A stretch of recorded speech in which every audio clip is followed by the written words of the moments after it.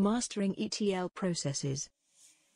Someone in ETL development had better get data formatting right or data integrity is toast.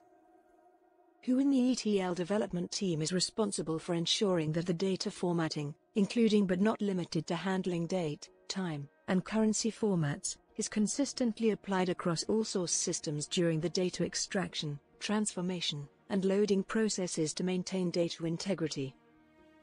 In an ETL, extract, transform, load, development team, the responsibility of ensuring consistent data formatting across all source systems during the data extraction, transformation, and loading processes lies with the data architect or the lead ETL developer. These team members are responsible for designing and implementing the data processing rules, including data type conversions, formatting, and standardization. They ensure that date, time, and currency formats, as well as other data elements, are consistently applied across all source systems. This critical task involves developing and enforcing data formatting standards, guidelines, and best practices throughout the ETL process. To achieve this, the data architect or lead ETL developer must work closely with other team members, including the business analyst, data analyst, and quality assurance QA team, to gather requirements, identify data inconsistencies, and develop corrective actions. They must also collaborate with the source system owners to understand the source system's data formatting conventions and ensure that the ETL process adheres to these standards.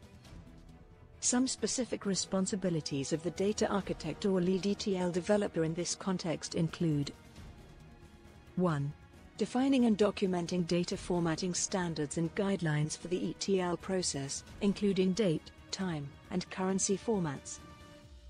2. Developing and maintaining data type conversion and formatting rules for all source systems. 3.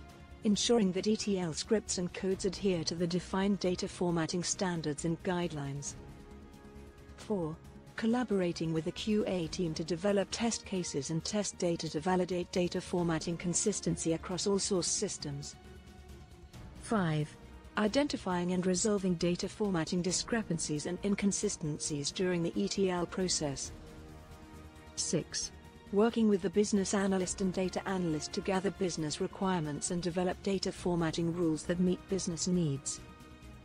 7 providing training and guidance to junior ETL developers and team members on data formatting standards and best practices.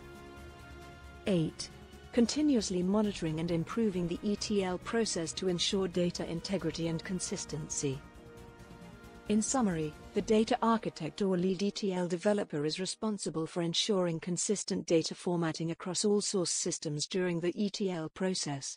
They develop and enforce data formatting standards, collaborate with other team members, and ensure that the ETL process maintains data integrity and consistency.